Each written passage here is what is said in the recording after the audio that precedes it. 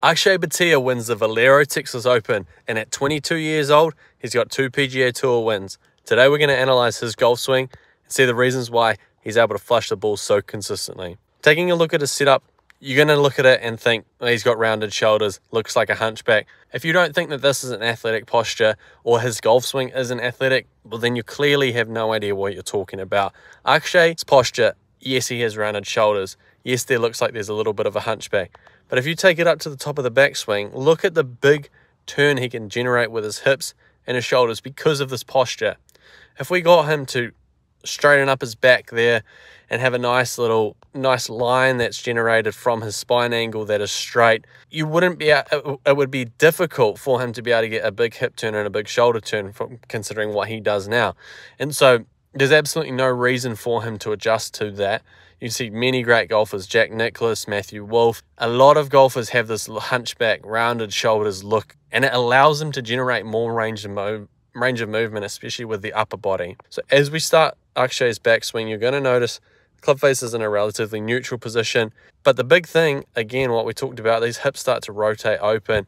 These knees start to change flex. So what I mean by that is just take a look at the bending in the legs there. There's a lot more in that in that lead leg compared to the trail leg. And we're going to get a little bit more, even more, even more up towards the top of the backswing. Akshay's arm structure is, is in a relatively neutral position here. Say just on the inside of his heels. And as he comes into the golf ball, you're going to notice this nice shallowing move that he has. And he gets the club into an awesome position there outside the ball line with that shaft line there. But the big thing is that actually squatting down in towards the ground as well, really using that ground force to be able to generate some speed. But he's also getting that lead hip to work down and towards the ground as well. This is going to offset the, the shallowing motion so that his club path isn't too far out to the left there. And so the shallowing movement is going to shift the path left, the hip down and to the right is going to shift the path more. And what happens is they marry up and come straight towards the middle or towards the flag of where he's trying to hit the ball.